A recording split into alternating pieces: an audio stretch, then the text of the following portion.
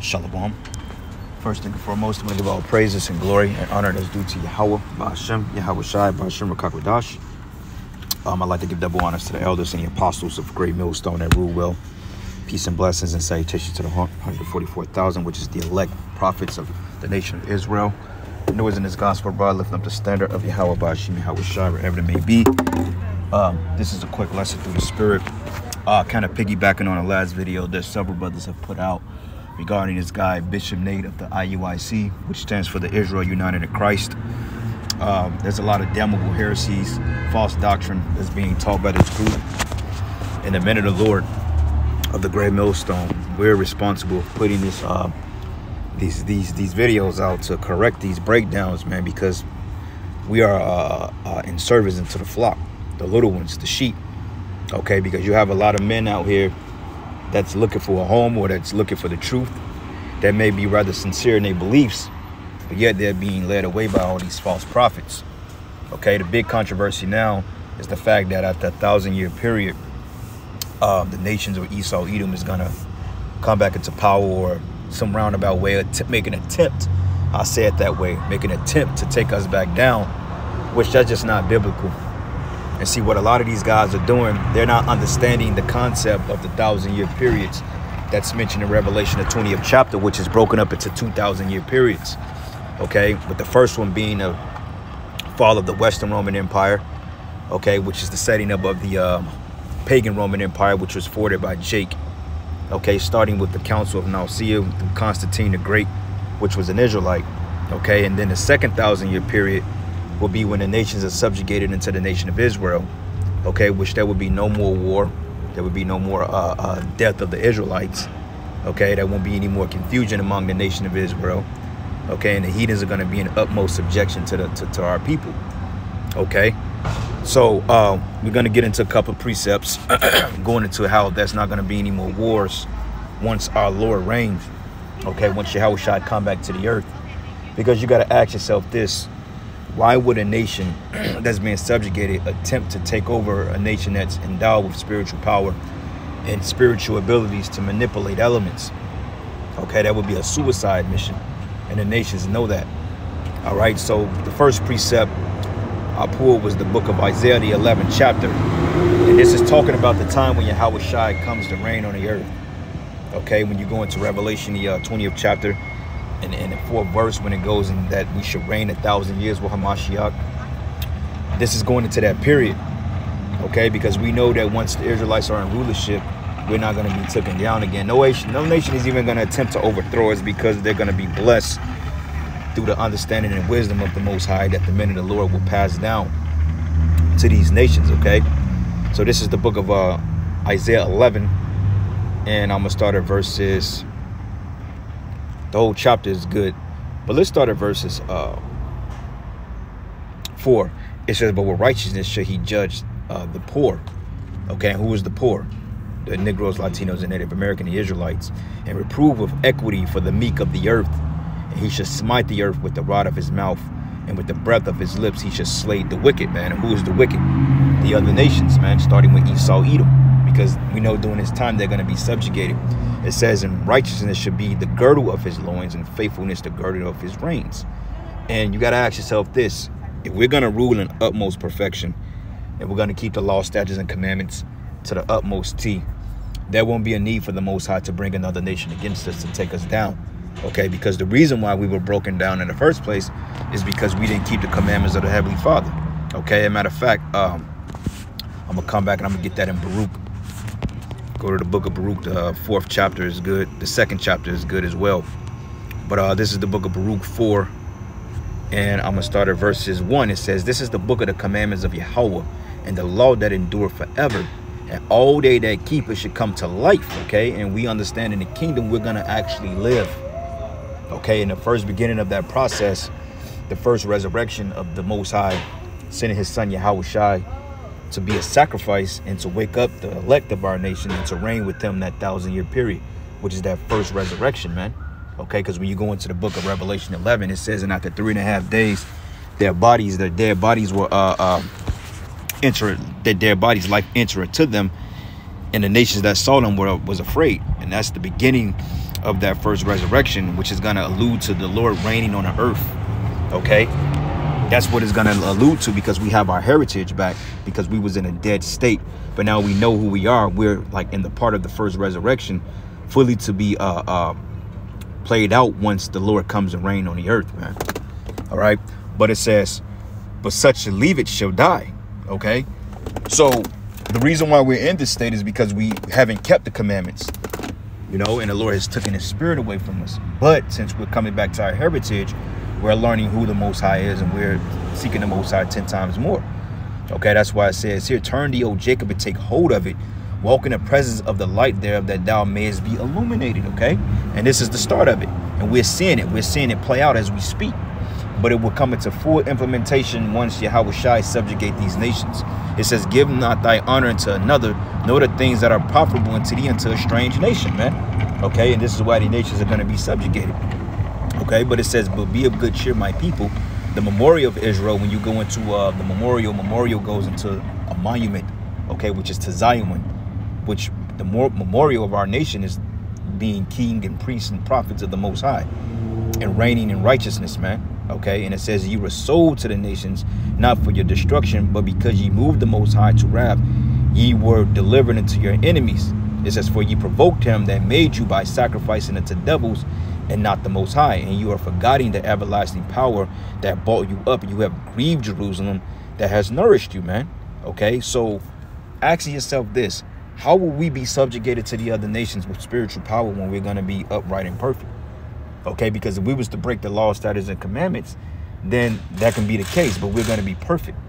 Okay the scriptures say we're going to have a new heart written in us man enter into that new covenant no other nations is going to be able to subjugate us in that because we're going to have the commandments written in our inner parts man. Okay so just to make a point on that uh oh shalakia shalakia. So that's just to get the meat off that bone to put it into proper context because if you read the revelation the 20th chapter then if you read it verbatim as it is and you don't understand the breaking points in the uh, historical context of those scriptures then you will get confused and say well damn what's the point of us reigning a thousand years with our savior just for a low base a, a heathen a base man being able to subjugate us again? Like it don't make any sense. It would make everything we're doing null and void because it would be a tipsy turny of rulerships us than them than them than us. No that's boring. That's wickedness man okay? And we're never going to be taken down we're never going to be taken down again and we're going to read it. It says the wolf also shall dwell with the lamb and the leopard shall lie down with the kid and the calf and the young lion and the fatling together and the little child shall lead them man. And who's the child that's talking about? The israelites okay? And this is going to be in our perfection when we have spiritual power okay? And it says here and the cow shall bear and the cow and the bear shall feed and the young ones shall lie down together, and the lion shall eat straw like the ox, and the suckling. It says, and the suckling child shall play on the hole of the asp, and the weaned child shall put his hand on the cockatrice's den. And the cockatrice is a, a poisonous serpent. Okay, but how will we do this if we're not in our perfection and we're not endowed with spiritual power? Okay, and what will be the need for us to be able to do these miraculous things through the spirit of Yahweh Ba'ashim Yahawashi, but yet a heathen can come and declare war on us, man. Okay, for one thing, the heathens are not going to have any type of power to declare war on us because they're going to be subjugated and the law, statutes, and commandments are going to ring forth. Okay, and all the weapons are going to be burnt up. The reason why Esau is in power is because the law, statutes, and commandments are not being brought forth. And this is the reason why his world is falling because the Lord's commandments are not being pushed, but they will be okay? And all nations are going to flow and all nations are going to live in beauty because of it. But it reads it says here and they should not hurt nor destroy in all my holy mountain. It says for the earth should be full of the knowledge of the lord and the water should cover the sea okay? So it says they should not hurt nor destroy in all my holy mountain okay? So that's not going to be any revolting against the israelites. Now in their captivities we will put hell on the nations. You know, they may talk their shit and they may, you know, do, you know, X, Y, and Z, but they're not going to have the power to revolt or get a stronghold over us or take us over. In fact, I hope they do talk shit money they're slavery so we can be justified on putting hell on them, man. Okay, but Esau is not going to, or the other nations, they're not going to have the power to reign or to, to subjugate us anymore. They're not even going to have the power to attempt to overthrow us because we're going to have the utmost power. Okay, it says they should not hurt nor destroy in all my holy mountain It says, For the earth should be full of the knowledge of the Lord as waters cover the sea. So with that being said, when the wisdom and knowledge and understanding is put forth through Yahawashi on down, through the elect men of Israel, how in the hell are the other nations are going to be able to trump that with wickedness? Okay? It's not going to happen. You see? So uh, let's go from here to the book of uh, Isaiah 2 and 4. And actually, the book of Micah 4 3 says the same thing. All right, but let's get a little bit here. Let's start at verses uh, 2 and 2. It says, And it shall come to pass in the last days, which we're currently in, that the mountain of the Lord's house should be established at the top of the mountains, okay? And what does top, what does mountain means? Mountain is another way of saying governments. So that means that Yahawashi's kingdom will be the supreme and the ruling government on the planet Earth. Okay, and it's going to subdue all these other nations. And you can read about that in Daniel, the seventh chapter. And it says here, in the house of Yahweh, the God of Jacob, will teach us his ways, which we will walk in his paths. Not in the paths of wickedness, man. Not in the paths of Esau, Edom, or these other nations. We're not going to be worshiping Santa Claus or Jesus Christ or, you know, the Easter Bunny and uh, Ishtar. We're not going to be worshiping the Babylonian goddess. goddess. We're not going to be worshiping Dionysus. We're not going to be worshiping any Greek gods. But we're going to be worshiping our true power, which is Yahweh and his son, Yahawashi. That's why it says that he would teach us of his ways and we will walk in his paths. It says, for out of Zion shall the law go forth and the word of the Lord from Jerusalem. So once that's, once that's established in the earth, there's not going to be any coming down from that. Okay? because the only how the nations was able to come against us and to rebel against us is because we was not walking in the commandments of the heavenly father but when you go into uh, isaiah what is it no jeremiah uh what is it uh 30 and 30 i believe 31 31 roughly paraphrasing when the scriptures go into that the most high will write a new uh, uh, uh give us a, a heart of, of flesh and he's going to renew within us a new mind that's going into the new covenant we're going to be in our utmost perfection we're going to walk beautified. We're going to walk in perfection. Like the scriptures say, we should be as Yahawashi. So if there's no need for us to sin, there's no need for us to, for the Most High to have any revolts against us and take us down. Because the reason why we were taken down and put in slavery is because we didn't keep the commandments and we were walking in the uh, errors of our own ways, man. And it says, to the house of the God of Jacob, he would teach us his ways and we will walk in his paths. For out of Zion should go forth the law and the word of the Lord from Jerusalem, which proves that those them them them small hats over there are not the real people of the land. Okay, because if this was the case, then the law, statutes, and commandments will be going forth. Okay, there wouldn't be no pink city in Tel Aviv. There would be no uh, imposters. There would be no war. The street would be paved with golds. There would be no more medical institutions. There wouldn't be any MOTB. There wouldn't be any death as far as on the Israelites those small heads wouldn't be getting bombed to hell if they were the real people, man. Okay, so that cuts that. But it says that many people should say, Go and come ye and let us walk, or let us go up to the mountain, which is the government of the of Yahweh, to the house of the God of Jacob, and he would teach of his ways, and we will walk in his paths. It says, For out of Zion should go forth the law and the word of the Lord from Jerusalem, and he should judge among the nations and shall rebuke many people. And they should beat their swords into plowshares and their spears into pruning hooks and nation should not lift up sword against nation neither should they learn war anymore man. Okay? So that's the point there's not going to be any judgment or no salaki there's not going to be any war in the kingdom esau ain't going to just miraculously pull an ak-47 from out of his garment or an atom bomb or a nuclear bomb and decide to blow up the, the headquarters he, that's not going to happen because he's not going to have that power. That's what says, O house of Jacob, come ye and let us walk in the light of the Lord. Therefore thou hast forsaken thy people in the house of Jacob, because ye have replenished from the east, and are soothsayers like the Philistines, and they please themselves in the children of strangers. And their land also full of silver and gold. Neither is there any end of their treasure, and their land is also full of the horses. Neither is there any end of their chariot of their chariots, and their land also is full of idols. And they worship the work of their own hands, that which their own fingers have made. And this is the reason why we're in this uh, situation now. This is the reason why we're in captivity. The reason why we're being subjugated by the other nations. Why? Because we didn't keep the commandments, man. But reading up a couple of verses proves that we're not going to be in slavery anymore once the Lord comes and establishes his reign on the earth, man. Okay? This is the book of Micah 4, and it's the same thing. It says, Micah 4 and 2, it says, And many nations shall say, Come and let us go up to the mountain of the Lord and to the house of the God of Jacob, and he would teach us his ways, and we will walk in his paths. It says, For the law should go forth out of Zion, and the word of the Lord from Jerusalem. Okay, that's end game. That's the kingdom of heaven, when all things will be in its perfection. Okay, they're not gonna build up the kingdom and and and have the gold streets and the, the particular 12 gates of the 12 disciples or the 12 apostles and the men of the lord back in their perfection and we're marrying and we're doing what we're supposed to do then all of a sudden here come this devil marching on the holy city jerusalem and he's gonna totally take over or attempt to take over and the most high is just gonna send a fireball out of heaven to destroy him that don't make any sense man and even if that was the case esau wouldn't have that type of power to even come nowhere near the gates of the city so that don't even make sense, man. And it says, but they shall sit every man under his vine and under his fig tree. Matter of fact, it says, and he should judge among many people and rebuke strong nations afar off. And they should beat their swords into plowshares and their spears into pruning hooks. And nation should not lift up sword against nation, neither should they learn war anymore. So the, the weapons are going to be done away with. But they should sit every man under his vine and under his fig tree, and none should make them afraid. For the mouth of the Lord of the hosts have spoken it, man. Okay, and that's the point. It says none should make them afraid. So there's not going to be any war declared on the Israelites or in the kingdom, period. Because that's going to be a thing that's a past. That's why the scriptures say, Behold, uh, uh, uh, the first heaven and earth passed away. And uh, matter of fact, let me get it. I'm not going to butcher it. My brain ain't really working efficiently this morning, so Salakia. But it says here, For all people will walk, everyone in the name of his God, and we will walk in the name of the Lord Yahweh.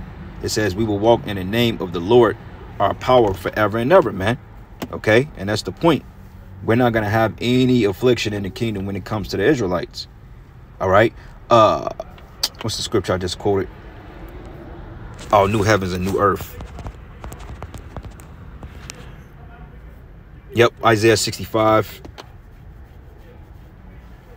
uh, yeah, Isaiah 65 uh, uh, and 17 is good. It says, For behold, I create new heavens and new earth. That's going into rulerships. It says, And the former should not be remembered, nor come into mind. Okay, so the former will not be remembered, or the former of this present evil, wicked world will not be a thing in the future, then that means that there's not going to be any war. Okay, because it says here that he who bless himself in the earth should bless himself in the power of truth and he that sweareth in the earth shall swear by the power of truth, because the former troubles are forgotten. And what's a main trouble that we're dealing with on the earth is war, man. Okay, endless wars. Okay, rumors of wars, proxy wars, world wars, race wars, class wars, man. Uh, uh, uh, political wars. You got uh, uh they declare uh, uh, uh, uh, what do you call it? chemical warfare, man. You know, and it says because the former troubles are forgotten because they are hid from my eyes. And it says, For behold, I create new heavens and a new earth, and the former should not be remembered, nor come into mind, meaning that this present wicked world is not going to have any dealings with the new world. And it says, But be ye glad and rejoice forever in that which I create. For behold, I create Jerusalem a rejoicing and here a people of joy. Okay, and I will rejoice in Jerusalem, and joy in my people, and the voice of weeping should be no more heard in her, nor the voice of crying. There should be no more thence the infant of days, nor old men that have not filled his days. And the child should die a hundred years old, and the sinner being a hundred should be accursed, man. And they should build houses and inhabit them, and they should plant vineyards and eat the fruit of them, man. Okay? It says they should not build and another habit, they should not plant and another eat. And as for the days of trees are the days of my people, and my elect shall long enjoy the works of their hands, and they shall labor not in vain, nor bring forth trouble okay, which we're in trouble now. For they are the seed of the blessed and of the Lord, and their offspring with them, which proves that we're to have children, which also proves that the two thirds are going to come back in the kingdom because who is going to be the righteous offspring of the elect? The two thirds, okay? The Israelites are going to be reborn back into the kingdom, man, through the loins of the elect after the order of the new covenant, man. So when they come into the dirt, when they come into the new world through the loins of the elect, they're going to be brought up right and they're going to know the commandments, man. And they're going to keep the commandments. All right. And they're not going to have any uh, uh, uh, dealings as what they did on his side. All right. So that just to put a little understanding to that particular scripture, man. But um, let's go from here to the book of uh, Ezekiel. I believe it's Ezekiel 39. Okay. Because for the simple fact, man, hey, uh, this guy Nate, man, he's teaching false doctrine. You know, he's teaching false doctrine and the spirit of the Lord is not dealing with him. Okay, but this is the book of Ezekiel 39, and I'm gonna start at verse 6. It says, And I will send fire on Magog and among them that dwell carelessly in the isles, and they should know that I am the Lord. This is going into the, the, war of Armageddon, man, okay? It says, So I will make my holy name known in the midst of my people Israel, and I will not let them pollute my holy name anymore. So how would that be any wars? Okay? It says, And the heathen should know that I am Yahweh, the Holy One in Israel. Okay, this is at this time now. But he says, Behold, it is come, it is done, says the Lord Yahweh. This the day thereof, whereof which I have spoken. And they that dwell in the cities of Israel shall go forth and shall set on fire and burn the weapons and both the shields and bucklers and bows and the arrows and the handstaves and the spears, and they shall burn them with fire seven years, man. So that they should take no wood out of the field, neither cut down any of the forests. For they shall burn the weapons with fire, and they shall spoil those that spoil them, and rob those that rob them, thus says the Lord, man. Okay? So there's not going to be any more war in the kingdom of heaven. Because if that was the case, we wouldn't have to burn all the weapons, man. And we were taught that we're going to use spiritual power to do away with those weapons, man. Okay, so all the nuclear bombs, the, the, the, the all that, we're going to go around, we're going to destroy those things. And we're going to clean this world up, man. And you heathens, we're going to use you to do it okay? Because we're not going to be sitting up here physically cleaning up the earth, okay? We're going to be pushing and promoting the law, statutes, and commandments from, from our nation, man, okay? And dealing in righteously and building up in a righteous government and, and setting up dictatorships and righteous dictatorships and laws and, you know, uh, all brothers are to have their respective offices, man. They're to have their lots, man. Brothers are to build and be creative. We're to literally live a life of innovation, man. Okay, we ain't gonna be dealing with this madness that we're dealing here. Jake working a fucking nine to five, and the reason why Nate is teaching that bullshit is because he wants to stay here. Okay, a nigga like him that's got his consolation on his side, he don't um he don't want to leave this place, man. All right, because he's he's a god here, man. Okay, gathered war. Psalms, this is the book of Psalms, and this is my last precept, man. Salaki, I'm all over the place, but you know, hey, I just wanted to get this out. But this is the book of Psalms 140, and I'm to start at verses uh, 1. It says, Deliver me, O Lord, from the evil man, and preserve me from the violent man, which imagine mischiefs in their heart. Continually they are gathered together for war. It says continually, but we just read that, hey, we're not going to have any war. We're not going to have any battles anymore in the kingdom of heaven, at least not world wars. Now, we're going to put hell on you nations, man. But other than that, we ain't going to be, nobody's going to be waging war against us because that'll be stupid. Why would you wage war with a with a nation of gods, man? That just you're asking for your destruction. You asking to be obliterated without remedy, man. okay. But anyway, I'm gonna end it here, giving all praises and glory and honor that's due to Yahweh by Shemi Yahawashi by Kakwadash. And with that, Shalom.